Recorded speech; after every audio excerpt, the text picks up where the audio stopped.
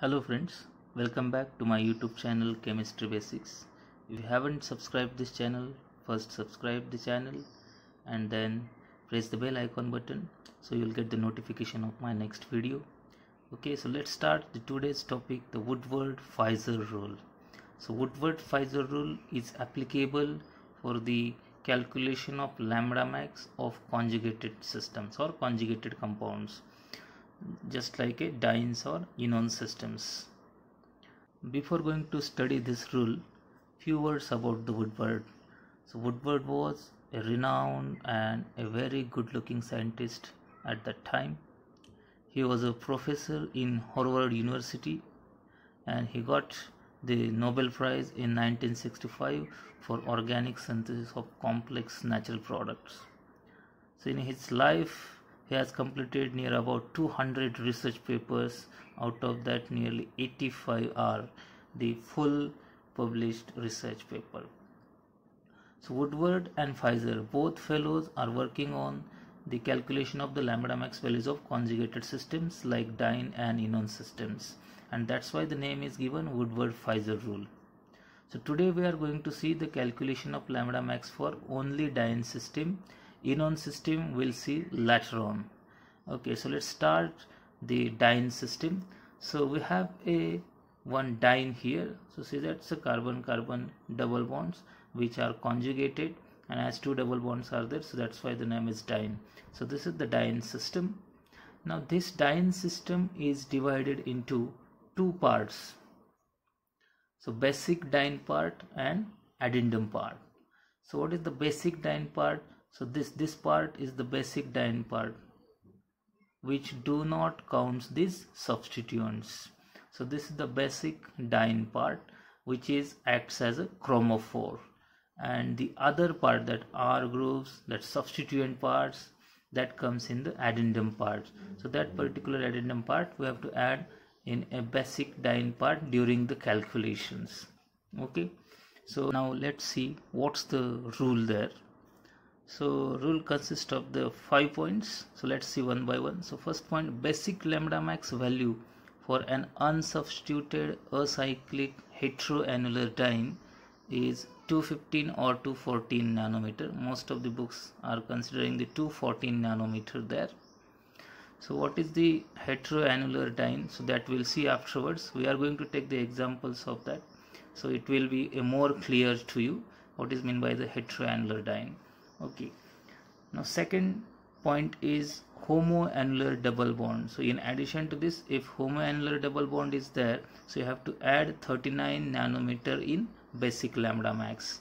If you have extended conjugation or extra double bond in conjugation so then each carbon carbon double bond we have to add a 30 nanometer in basic lambda max value. Then fourth point is the exocyclic double bond. So when exocyclic double bond is present so you have to add a 5 nanometer value. If one double bond is exocyclic to two rings so if a one double bond is there and it is joined to two rings so then you have to add the 10 nanometers in the basic lambda max value. Now let's see the fifth point is the substituent so this is the very important thing substituents because most of the uh, mistakes are takes place in this part. So substituents when you have a hydrogen or acetate part so then you have to add the 0 nanometer. So when you have a substituent a alkyl group or halogens like Cl, Br or a ring residue ring residue means a ring part. So when you then you have to add the 5 nanometer to the basic lambda max. If substituent is hydroxyl or OR that's alkoxy group. So you have to add the 6 nanometer in basic lambda max value. If you have a SR group or NR2 groups you have to add 30 and 60 nanometer respectively in a basic lambda max value. So you have to just follow these five points. So let's see some basic terms used in this rule. That's the homoannular or heteroannular diene so suppose I have drawn here some dienes so let's see. In first structure see two double bonds that are conjugated and are present in one and the same ring. So therefore it is called as a homoannular diene so as it is present in the one and the same ring double bond both double bonds should be present in the same ring. Then it is called as a homoannular diene so if you are taking the second structure so two double bonds that are definitely conjugated but the two double bonds are present in the different ring ring A and ring B. So therefore this particular system or this diene is known as a heteroannular diene so hetero means a different so double bonds should be present in a different rings. Homo in same double bond should be present in the same ring. One more diene I have drawn here. It's a very simple diene it's just conjugated so it is a acyclic unsubstituted diene is there okay? So this is about the some examples of the diene so all of you are getting clear about homoannular and heteroannular diene so homo means same ring or the double bonds present in the same ring hetero means double bond should be present in the different ring okay? Now let's go for the next point. Extended double bond or extra double bond in conjugation means what so suppose we have this particular diene here okay or this particular compound. So this part is considered as a basic diene part. Now if you see here one more double bond is there and it is in conjugation with this diene part. So that's why i can say a one double bond is present in conjugation with the basic diene and that's why at that time i have to add a 30 nanometer value extra to the basic lambda max value that is a 214 okay now in this system this is the diene part and this double bond is in conjugation with this diene part. So therefore one double bond or one extra double bond is present in conjugation. Okay now if you see this particular structure so here also two double bonds that's the diene part if you see this diene part is the homoannular because both the double bonds are present in the same ring and one double bond is extra in conjugation. If you see this particular diene so where these two double bonds are in conjugation but that third double bond is not in conjugation with this because it is separated by the two single bonds. So at that time there is no addition of 30 nanometer takes place because it is not in conjugation. Okay? Now let's go for the exocyclic double bond. What is meant by exocyclic double bond? So exocyclic exo means from outside of the cycle. So double bond should be attached to the cyclic system from outside so this double bond is attached to the cyclic system from outside. So this is the exocyclic double bond. So if you see here this a ring and this b ring. So if you considering this a ring so this double bond is attaching from exo to a ring. And if you consider the ring b so this double bond is attached to ring b from exo side. So therefore this particular compound contains the two exocyclic double bonds. Two exocyclic double bonds. Okay? Now if you see this particular compound so here this a ring and this b ring. So a and b ring having a common double bond. So one double bond is exo to two rings. At that time we have to add 10 nanometer extra to basic lambda max value so this is about the exocyclic double bond i think all of you are getting the basic terms that is discussed in this Woodward-Fieser rule. Now let's take some examples so as to we can calculate the lambda max value for different compounds. Let's calculate the lambda max for this compound. So all of you remember this rule. So first point is basic lambda max for unsubstituted acyclic heteroannular diene so it is about 214 nanometer. Second point whether it is a homoannular or not. Now this compound do not have the ring so there is no any homoannular system. Then third point is there so that will be whether extra double bond in conjugation is present or not so no extra double bond is present here. So don't bother about that. Then we'll go for the fourth point. So fourth point is the exocyclic double bond. So this system is a acyclic. So no uh, exocyclic double bond present in this. Now we'll go for the substituents. So this is the diene part. So this is the basic diene part that we have seen.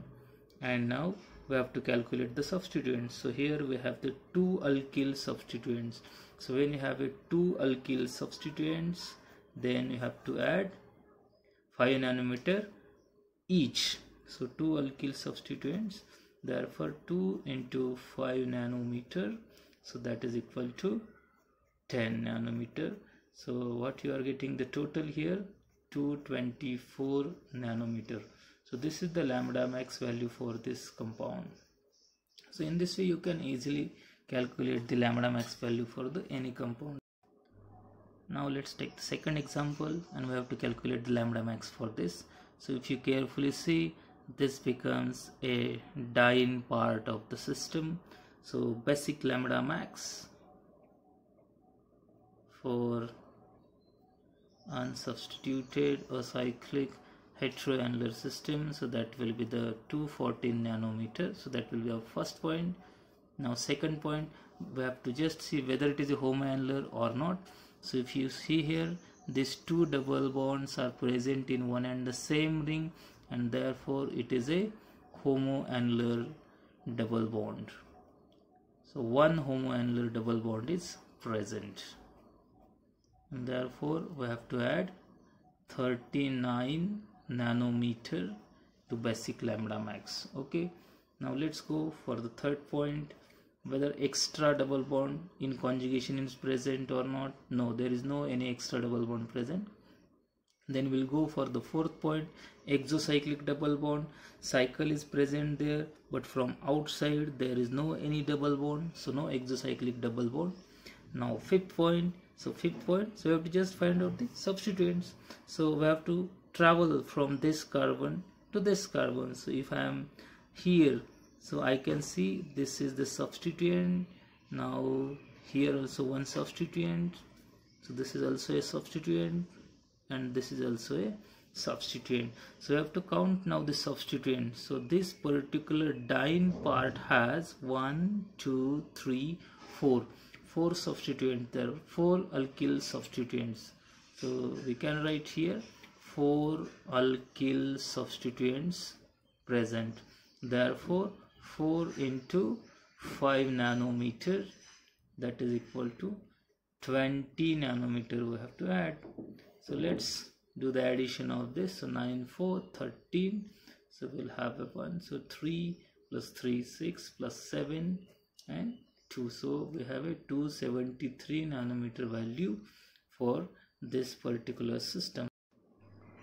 Now let's see the third example. So this is the compound. So we have to find out the diene part first. So suppose this will be a diene part and this bond becomes a extra double bond in conjugation. So let's find out the basic lambda max first. So basic lambda max is always 214 nanometer. Then we have to find out whether it is a homoannular or not. So it is a cyclic system but no homoannular system. Therefore no addition of 39 nanometer.